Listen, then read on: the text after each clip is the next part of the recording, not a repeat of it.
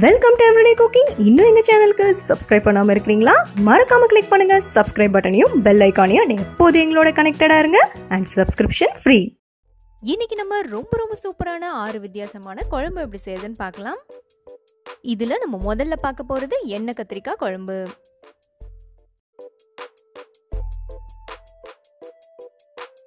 இதுக்கு முதல்ல நம்ம கத்திரிக்காவை தனியாக வதக்கி எடுத்து வச்சுக்க போகிறோம் ஸோ கொஞ்சமாக ஆயில் பேனில் விடுங்க. கத்திரிக்காயை இந்த மாதிரி நாளாக கீறிக்கோங்க. நான் இங்கே ஒரு நாலு கத்திரிக்காய் யூஸ் பண்ண போகிறேன் உங்களுக்கு எவ்வளோ வேணுமோ அவ்வளோ யூஸ் பண்ணிக்கலாம். எண்ணெயில் போட்டு நல்லா கலர் சேஞ்ச் ஆகிற வரைக்கும் வறுத்துக்கலாம்.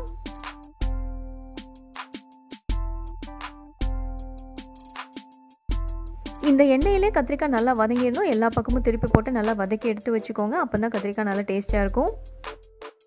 இங்கே கத்திரிக்காய் ரெடி அண்ட் இந்த எண்ணெயை கொஞ்சமாக எடுத்து வச்சுக்கோங்க. தாளிக்கிறதுக்கு யூஸ் ஆகும்.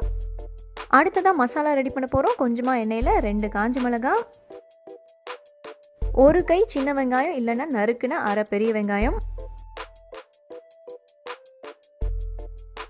இதோட ஒரு கை கருவேப்பிலையும் சேர்த்து நல்லா வதக்கிக்கோங்க. வெங்காயம் நல்லா வதங்கணும். வதங்கினதுக்கப்புறம் நம்ம தேங்காய் ஆட் பண்ணலாம். அடுத்ததாக கால் மூடி துருவின தேங்காய். தேங்காய் வறுப்பட்டதும் நம்ம சோம்பு சீரகம் ஆட் பண்ண போகிறோம் ஒரு டீஸ்பூன் சோம்பு.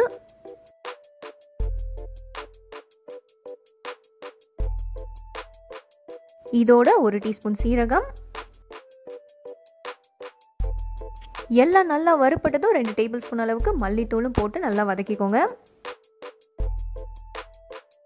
இதை ஒரு ரெண்டு நிமிஷம் நல்லா வதக்கிட்டு மிக்சிக்கு மாற்றிடலாம்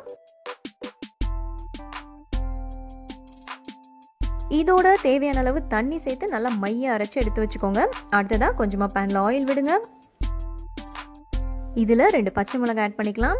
அண்ட் இதோட கொஞ்சமாக நறுக்கின வெங்காயமும் ஆட் பண்ணிக்கலாம். வெங்காயம் ஓரளவுக்கு வதங்கினதும் குட்டி குட்டியாக ஒரு தக்காளியை நறுக்கி ஆட் பண்ணுங்கள் தக்காளி நல்லா வதங்கணும் ஸோ கொஞ்சம் பொறுமையாக வதக்குங்க. இதோட நம்ம இப்போ ஒரு அரை டீஸ்பூன் மஞ்சள் தூளும் தேவையான அளவு உப்பும் ஆட் பண்ணிக்கலாம். உப்பு சேர்த்திங்கனாலே தக்காளி சீக்கிரம் வதங்கிடும் நல்லா வதக்குங்க. எண்ணெய் நல்லா பிரிஞ்சு வரணும் அது வரைக்கும் வதக்கிக்கோங்க. எண்ணெய் நல்லா பிரிஞ்சு வந்ததும் நம்ம அரைச்சி வச்சிருக்கோம் அந்த மசாலாவையும் ஆட் பண்ணிடலாம்.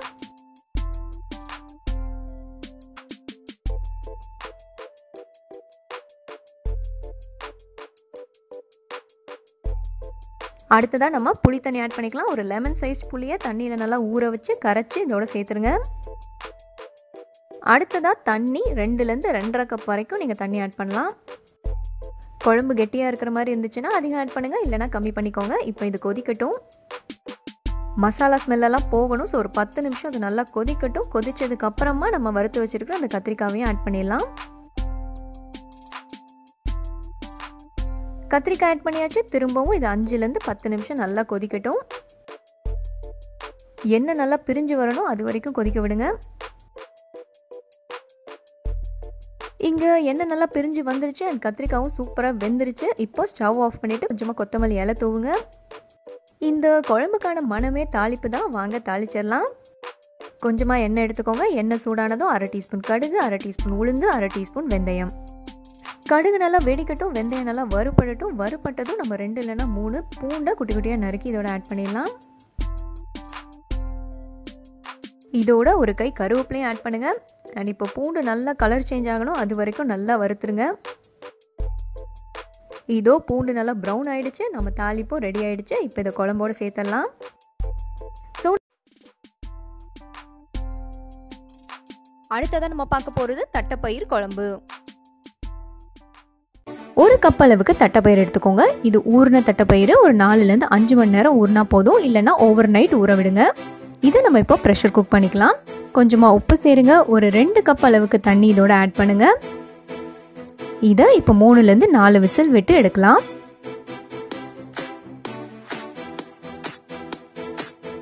இதோ தட்டைப்பயிறு நல்லா குக் ஆயிருச்சு. அடுத்ததான் நம்ம அரைக்க போகிறது தேங்காய். ஒரு கை அளவுக்கு நறுக்குன தேங்காய்.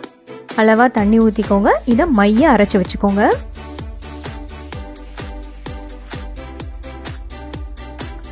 இதோ தேங்காய் அரைச்சாச்சு. அடுத்ததாக ஒரு சின்ன லெமன் சைஸ் புளி எடுத்துக்கோங்க. ஒரு பத்து நிமிஷம் தண்ணியில் அதை ஊற வச்சுட்டு அதை கரைச்சி வச்சுக்கோங்க. ஸோ பயிரை வேக வச்சாச்சு மசாலா அரைச்சாச்சு புளியும் கரைச்சாச்சு. அடுத்ததாக நம்ம குழம்பு செய்ய ஆரம்பிக்கலாம். கொஞ்சமாக ஆயில் பேனில் ஊற்றுங்க இதோட வெந்தயம் சீரகம் சோம்பு இதெல்லாம் அரை அரை டீஸ்பூன் சேர்த்துக்கோங்க.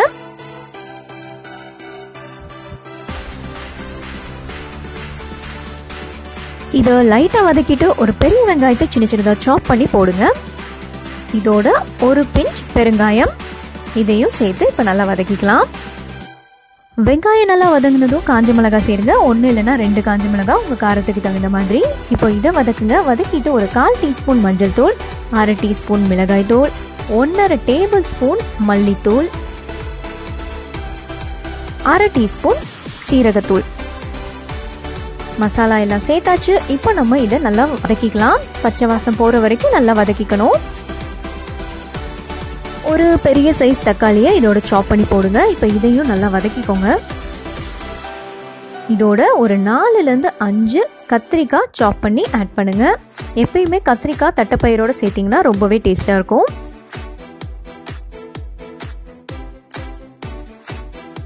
நம்ம அடுத்ததாக பண்ணுறது கத்திரிக்காவை நல்லா வேக வைக்கணும். ஸோ இன்னும் கொஞ்சம் கூட ஆயில் சேர்த்து கத்திரிக்காவை வதக்க ஆரம்பிங்க. இதோட இப்போ தேவையான அளவு உப்பு சேர்த்து கொஞ்சமாக வதக்கிட்டு இதை மூடி போட்டு வேக விடலாம்.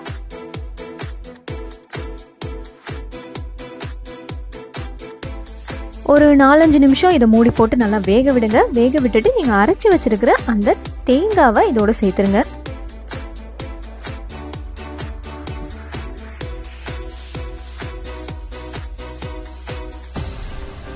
இது இப்போ நல்லா கொதி வரட்டும். கொதிக்கிற ஸ்டேஜில் நீங்கள் கரைச்சி வச்சுருக்கிற புளியை இதோட ஆட் பண்ணிக்கோங்க.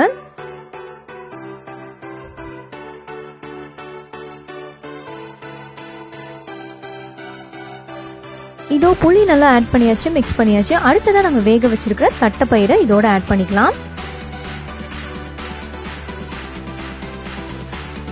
அடுத்ததா இதை ஒரு அஞ்சுலேருந்து பத்து நிமிஷம் வரைக்கும் நல்லா கொதிக்க விடுங்க. கொதிக்க வச்சுட்டு மறுபடியும் மூடி போட்டு கொஞ்ச நேரம் வேக விடுங்க. இதோ மணக்க மணக்க சூப்பரான தட்டைப்பயிறு குழம்பு ரெடி ஆயிருச்சு.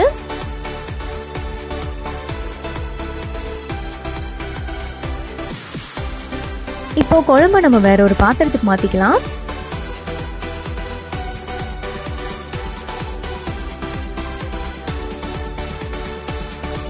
இதோ பாத்திரத்துக்கும் மாத்தியாச்சு. அடுத்ததா வேற என்னங்க? தாளிப்பு தான்.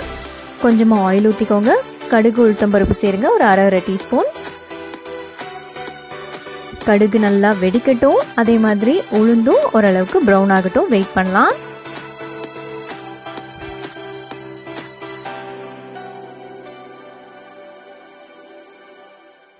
இதோ கடுகு நல்லா வெடிக்க ஆரம்பிச்சிருச்சு. இந்த ஸ்டேஜில் கருவேப்பிலை போடுங்க. நம்ம தாளிப்போம் இதோ நல்லா சூப்பராக ரெடி ஆயிடுச்சு. இதை குழம்போட சேர்க்க வேண்டியதுதான்.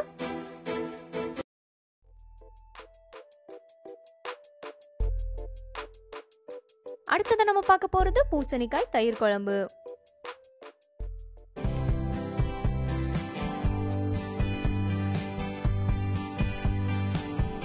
ஒரு சின்ன துண்டு பூசணிக்காய் எடுத்துக்கோங்க. தோலை ரிமூவ் பண்ணிட்டு குட்டி குட்டியாக நறுக்கிக்கோங்க.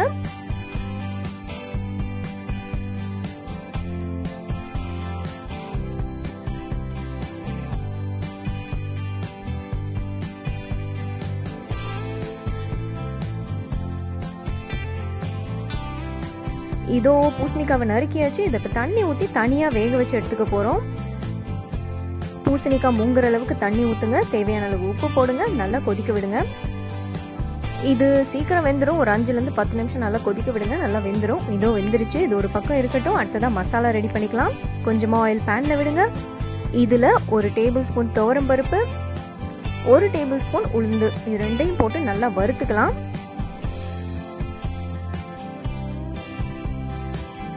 பருப்பு நல்லா வறுபட்டதும் கொஞ்சமா கருவேப்பிலை ஆட் பண்ணுங்க. பருப்பு ரெண்டும் இங்க நல்லா வறுபட்டுருச்சு. இந்த ஸ்டேஜ்ல ஒரு டீஸ்பூன் சீரகம் ஆட் பண்ணுங்க. ரெண்டு காஞ்ச மிளகாவும் ஆட் பண்ணுங்க.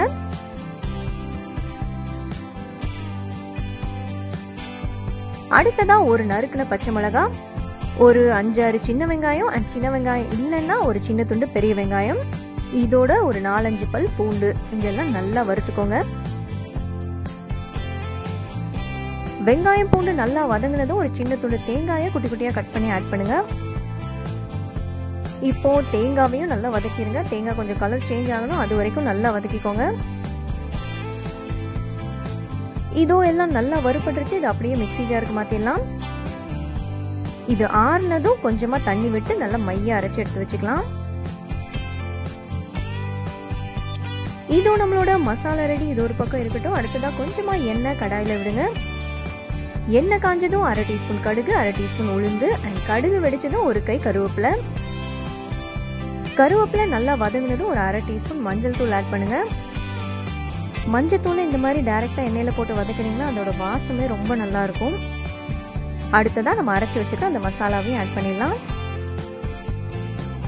மிக்சி ஜாரில் ஒட்டிட்டு இருக்கிற மசாலாவில் ஒரு அரை கப் அளவுக்கு தண்ணி ஊற்றி இதோட ஆட் பண்ணிடுங்க ஒரு ரெண்டு நிமிஷம் அதை நல்லா கிளறுங்க. கிளறிட்டு நம்ம வேக வச்சு வச்சிருக்கிற அந்த பூசணிக்காவை இதோட ஆட் பண்ணிடலாம். இது இப்போ அப்படியே மூணுலேருந்து அஞ்சு நிமிஷம் நல்லா மீடியம் ஃப்ளேம்லேயே கொதிக்கட்டும். தயிர் ஊற்றுனதுக்கப்புறம் நம்ம கொதிக்க விட போகிறது கிடையாது. ஸோ இப்போவே நல்லா மசாலா ஸ்மெல் போகிற வரைக்கும் நல்லா கொதிக்க விட்டுக்கோங்க. உப்பு இங்கே நம்ம ஆட் பண்ணியிருக்கோம் இதை நல்லா கிளறி விட்டுக்கோங்க. நல்லா கெட்டி ஆயிடுச்சு. அண்ட் தயிர் ஊற்றுனதுக்கப்புறம் இன்னும் கொஞ்சம் கூட இது தண்ணியாகும். இப்போ ஒரு கப் அளவுக்கு தயிர் ஆட் பண்ணலாம். அண்ட் சிம்மில் வச்சுட்டு தயிர் ஆட் பண்ணுங்கள் நல்லா கலந்து விடுங்க. குழம்பு சூடாகணும் பட் கொதிச்சிடக்கூடாது. கொதிச்சிருச்சுன்னா தெரிஞ்சிடும் நான் இங்கே குழம்பு கொஞ்சம் கெட்டியாக வச்சுருக்கேன். தண்ணியாக வேணும்னு நினச்சிங்கன்னா மசாலா ஆட் பண்ணும்போதே இன்னும் கொஞ்சம் தண்ணி எக்ஸ்ட்ரா ஆட் பண்ணிக்கோங்க. ஸோ நம்மளோட பூசணிக்காய் தயிர் குழம்பு இங்கே சூப்பராக ரெடி ஆயிடுச்சு. சாதத்துக்கு செம்ம டேஸ்டாக இருக்கும். கண்டிப்பாக ட்ரை பண்ணுங்கள் வேறு அடுத்ததாக நம்ம பார்க்கலாம். காலிஃப்ளவர் குழம்பு. பேனில் கொஞ்சமாக ஆயில் விடுங்க. இதில் ஒரு ரெண்டு துண்டு பட்டை ரெண்டு இல்லைன்னா மூணு கிராம்பு ஆட் பண்ணுங்கள் கொஞ்ச நேரம் இது ஆயிலில் நல்லா வதங்கட்டும். வதங்கினதுக்கப்புறம் ஒரு அரை பெரிய வெங்காயத்தை குட்டி குட்டியாக சாப் பண்ணி இதோட ஆட் பண்ணுங்கள் வெங்காயம் ஒரு ரெண்டு நிமிஷம் வதங்கினதும் ஒன்றரை டேபிள் ஸ்பூன் அளவுக்கு இஞ்சி பூண்டு விழுது ஒரு கை கருவேப்பிலை. இதெல்லாம் நல்லா வதக்கிக்கோங்க. இஞ்சி பூண்டு நல்லா பச்சை வாசம் போகணும். அது வரைக்கும் நல்லா வதக்கிக்கோங்க. அடுத்ததாக ரெண்டு மீடியம் சைஸ் தக்காளியை சாப் பண்ணி இதோட சேர்த்துக்கலாம். இப்போ வெங்காயம் தக்காளி நல்லா வதங்கணும். ஸோ அது வரைக்கும் நம்ம வதக்கிக்க போகிறோம் அண்ட் தக்காளி நல்லா வதங்கணும்னா கொஞ்சம் உப்பு சேர்த்திங்கன்னா கொஞ்சம் சீக்கிரம் வதங்கிடும். அதனால நம்ம உப்பை இங்கேயே சேர்த்துடலாம். தக்காளி நல்லா மசிய வேகணும். ஸோ மூடி போட்டு வேக விடலாம். மூடி போட்டிங்கன்னா கொஞ்சம் சீக்கிரம் வேகும். இதோ தக்காளி ஓரளவுக்கு வெந்துருச்சு. இந்த ஸ்டேஜில் நம்ம மசாலாலாம் ஆட் பண்ணிக்கலாம். ஒரு டீஸ்பூன் சீரகத்தூள். அரை டீஸ்பூன் மஞ்சள் தூள் ரெண்டு டேபிள் ஸ்பூன் அளவுக்கு மல்லித்தூள் ஒரு டேபிள் ஸ்பூன் மிளகாய் தூள் மிளகா பொடி உங்கள் காரத்துக்கு தகுந்த மாதிரி கூடவோ குறைவோ ஆட் பண்ணிக்கோங்க. மசாலாலாம் சேர்த்ததுக்கப்புறம் ஒரு ரெண்டு நிமிஷம் நல்லா வதக்கிக்கோங்க. அப்போ தான் பச்சை வாசம்லாம் போகும். போனதுக்கப்புறமா நம்ம காலிஃப்ளவர் ஆட் பண்ணிக்கலாம். இது ஒரு சின்ன சைஸ் காலிஃப்ளவர் ஆல்ரெடி நான் இதை குட்டி குட்டியாக சாப் பண்ணி சுடுதண்ணியில் போட்டு எடுத்து வச்சுருக்கேன். இதோட நம்ம தேங்காய் பேஸ்ட் ஆட் பண்ண போகிறோம் ஒரு அரை மூடி தேங்காயை குட்டி குட்டியாக சாப் பண்ணி தண்ணி ஊற்றி மிக்சியில் நல்லா மைய அரைச்சி இதோட சேர்த்துருங்க. காலிஃப்ளவரை பிளான்ச் பண்ணும்போது சுடுதண்ணியில் கொஞ்சமாக உப்பும் மஞ்சத்தூளும் சேருங்க. அப்போ தான் புழு பூச்சி இருந்தால் சீக்கிரம் செத்துரும். தேங்காய் நல்லா கலந்து விட்டுட்டு ரெண்டுலேருந்து மூணு கப் அளவுக்கு தண்ணி ஆட் பண்ணுங்கள் குழம்போட கன்சிஸ்டன்சியை பார்த்துட்டு தண்ணி அட்ஜஸ்ட் பண்ணிக்கோங்க. கெட்டியாக இருந்துச்சுன்னா கொஞ்சம் அதிகம் ஆட் பண்ணிக்கோங்க. இப்போ இதை அப்படியே மூடி போட்டு வேக விடலாம். மீடியம் ஃப்ளேம்லேயே நல்லா இது கொதிக்கட்டும். காலிஃப்ளவர் வேகிற வரைக்கும் நீங்கள் கொதிக்க விடணும். ஒரு எட்டுலேருந்து பத்து நிமிஷமாவது நல்லா கொதிக்க விடுங்க. அப்போ தான் குழம்போட பச்சை வாசமும் போகும் காலிஃப்ளவரும் வேகும். இங்கே குழம்பு ரெடி ஃபினிஷிங் டச்சாக கொத்தமல்லி இலை தூவிக்கலாம். அடுத்து நம்ம பார்க்க போகிறது மணத்தக்காளி வத்தல் குழம்பு.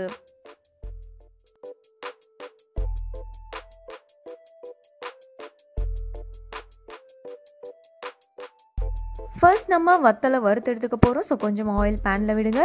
இதில் ஒரு கையளவு வத்தலை ஆட் பண்ணுங்கள் மணத்தக்காளி வத்தல் மட்டும் இல்லைங்க. நீங்கள் சுண்டக்காய் வத்தல் கூட இதுக்கு யூஸ் பண்ணலாம்.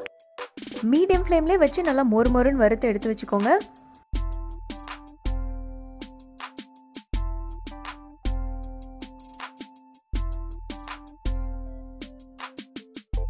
யூஸ்வலாக இது சீக்கிரம் வறுப்பட்டுரும் ஸோ லைட்டாக கலர் மாறினோன்னே வெளியே எடுத்துருங்க. இதோ வத்தல் ரெடி. இது ஒரு பக்கம் இருக்கட்டும். அடுத்ததாக கொஞ்சமாக எண்ணெயில் கடுகு உளுத்தம்பருப்பு தாளிச்சிடலாம். அரை டீஸ்பூன் கடுகு அரை டீஸ்பூன் உளுத்தம்பருப்பு அண்ட் அரை டீஸ்பூன் வெந்தயம் ஆட் பண்ணுங்கள் கடுகு நல்லா வெடித்ததும் ஒரு கை கருவேப்பிலை எட்டுலேருந்து பத்து பல் பூண்டு ஒரு பத்து பதினஞ்சு சின்ன வெங்காயம். வெங்காயம் பூண்டு எண்ணெயில் நல்லா வதங்கணும்.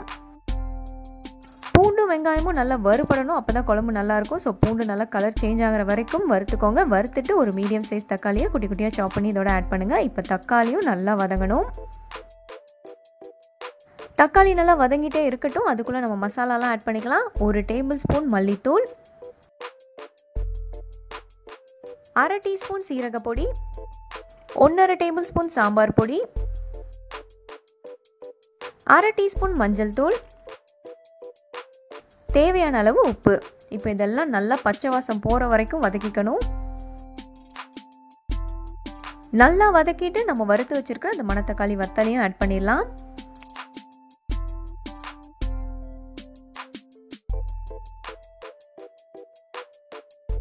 சாம்பார் பொடியில் காரம் இருக்கும். இருந்தாலும் காரம் வேணும்னு நினைக்கிறவங்க கூட ஒரு ஸ்பூன் மிளகாத்தூளும் ஆட் பண்ணிக்கோங்க.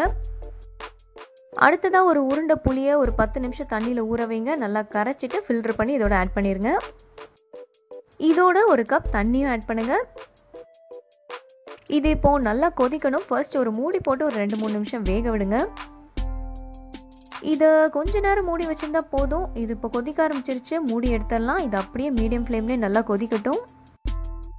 தண்ணியெல்லாம் ஓரளவுக்கு வற்றி குழம்பு கொஞ்சம் திக்காகும் அதே மாதிரி எண்ணெய் பிரிஞ்சு வரும். அது வரைக்கும் நீங்கள் கொதிக்க விடணும். இதோ குழம்பு நல்லா திக்காயிடுச்சு ஆல்மோஸ்ட் இது ரெடி ஆயிடுச்சு. இதுக்கு மேலே ஃப்ரெஷ்ஷான கருவேப்பிலை கொத்தமல்லி தூங்க ரொம்ப நல்லாயிருக்கும் இதோ நம்மளோட மணத்தக்காளி வத்தல் குழம்பு இங்கே சூப்பராக ரெடி ஆயிடுச்சு. அடுத்ததான் வாழைக்காய் குழம்பு எப்படி செய்யறதுன்னு பார்க்கலாம். இது சாதத்துக்கு மட்டும் இல்லைங்க சப்பாத்தி அண்ட் தோசைக்கு கூட ரொம்ப ரொம்ப நல்லா இருக்கும்.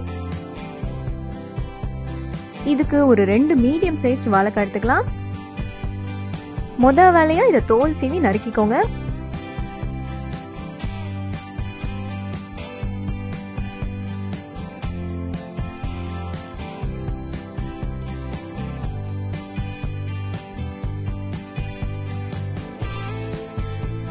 இந்த மாதிரி குட்டி குட்டியாக நறுக்கிட்டு யூஸ் பண்ணுற வரைக்கும் தண்ணியில் போட்டு வைங்க. அப்போ தான் வாழைக்காய் கருப்படிக்காமல் இருக்கும். இதோ வாழைக்காய் நறுக்கியாச்சு. அடுத்ததான் மசாலா ரெடி பண்ணிக்கலாம். மிக்சியில் ஒரு டீஸ்பூன் சோம்பு எட்டுலேருந்து பத்து பல் பூண்டு ஒரு அரை மூடி தேங்காய். இதில் கொஞ்சமாக தண்ணி விட்டு நல்லா மைய அரைச்சி எடுத்து வச்சுக்கோங்க.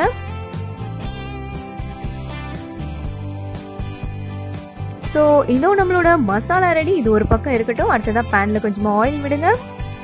வாழைக்காயை இந்த ஆயிலில் கொஞ்ச நேரம் நம்ம வதக்க போகிறோம் ஸோ கொஞ்சம் தாராளமாகவே எண்ணெய் விட்டுக்கோங்க. எண்ணெய் காஞ்சதும் அரை டீஸ்பூன் கடுகு அரை டீஸ்பூன் உளுந்து கடுகு வெடிச்சதும் ஒரு கை கருவேப்பிலை. கருவேப்பிலை ஓரளவுக்கு நல்லா வறுபட்டதும் வாழைக்காய் ஆட் பண்ணிடலாம். இங்கே எண்ணெய் ஜாஸ்தியாக ஊற்ற சொன்னேன் அப்படிங்கிறதுக்காக நிறைய ஊற்றிடாதீங்க ஒரு புளிக்கரண்டி எண்ணெய் போதும் அதுவே தாராளம். இதோட நம்ம இப்போ உப்பு மஞ்சத்தூள் சேர்த்துக்கலாம். அண்ட் உப்பு சேர்த்திங்கன்னா இது கொஞ்சம் சீக்கிரம் வதங்கிடும். ஸோ தேவையான அளவு உப்பு அண்ட் அரை டீஸ்பூன் அளவுக்கு மஞ்சள் தூள். மசாலா ஆட் பண்ணுறதுக்கு முன்னாடி இந்த ஆயிலே இந்த வாழைக்காய் பாதி வெந்துடணும் ஸோ மூடி போட்டு கொஞ்ச நேரம் இதை வேக விடலாம். மசாலா ஆட் பண்ணுறதுக்கு முன்னாடி இந்த மாதிரி நல்லா வேக விட்டீங்கன்னா வாழைக்காயோட டேஸ்ட் ரொம்ப நல்லா இருக்கும். இதோ நம்மளோட வாழைக்காய்ங்க பாதி வெந்துருச்சு அடுத்ததாக மசாலாலாம் ஆட் பண்ண ஆரம்பிக்கலாம். ஒரு டீஸ்பூன் சீரகத்தூள் ஒரு டீஸ்பூன் மிளகாய் தூள் இதை ஒரு ஒரு நிமிஷம் நல்லா கிளறிட்டு அடுத்ததான் நம்ம அரைச்சி வச்சிருக்கிற மசாலாவையும் ஆட் பண்ணிடலாம். இதோ நம்ம அரைச்சி வச்சிருக்கிற மசாலா. இதோட நம்ம குழம்புக்கு தகுந்த மாதிரி தண்ணி ஆட் பண்ணிக்கலாம். ஒரு ஒன்றுலேருந்து ரெண்டு கப் வரைக்கும் கூட நீங்கள் தாராளமாக தண்ணி ஆட் பண்ணலாம். குழம்பு நல்லா கொதிக்க ஆரம்பிக்கட்டும். கொதிச்சதும் மூடி போட்டு குக் பண்ணலாம். குழம்பு கெட்டியாடுற மாதிரி இருந்துச்சுன்னா இங்கேயே தண்ணி அட்ஜஸ்ட் பண்ணி ஊற்றிக்கோங்க இப்போ க்ளோஸ் பண்ணி வாழைக்காய் வேகிற வரைக்கும் நம்ம குக் பண்ண போகிறோம் மீடியம் ஃப்ளேம்லேயே குக் பண்ணுங்க. இடையில இந்த மாதிரி எடுத்து நடுவில் கிளறி விட்டுக்கோங்க. அடியில் உட்காந்துடக்கூடாது அதுக்காக தான் இதை ஒரு எட்டுலேருந்து பத்து நிமிஷம் வரைக்கும் நீங்கள் மீடியம் ஃப்ளேமில் தாராளமாக குக் பண்ணலாம். இதுவும் நல்ல வாழைக்காயும் வெந்துருச்சு. வெந்துருச்சா வேகலையான்னு டவுட் இருந்துச்சுன்னா கரண்டி வச்சு ஒன்று மசிச்சு பாருங்க. குழம்புக்கான வாசனையே அந்த கொத்தமல்லி இலை தான். ஸோ இதுக்கு மேலே குட்டி குட்டியாக சாப் பண்ண கொத்தமல்லி இலையை தூவுங்க. மணக்க மணக்க வாழைக்காய் குழம்பு இங்கே சூப்பராக ரெடி ஆயிடுச்சு. உங்களுக்கு பிடிச்சிருக்கும் நம்புறோம். வேறொரு இன்ட்ரெஸ்டிங்கான ரெசிபியோட உங்களை சந்திக்கிறோம். எங்கள் வீடியோஸ் எல்லாம் பிடிச்சிருந்தா லைக் பண்ணுங்க ஷேர் பண்ணுங்க கமெண்ட் பண்ணுங்க அண்ட் மறக்காம எங்கள் சேனலுக்கு சப்ஸ்கிரைப் பண்ணுங்க.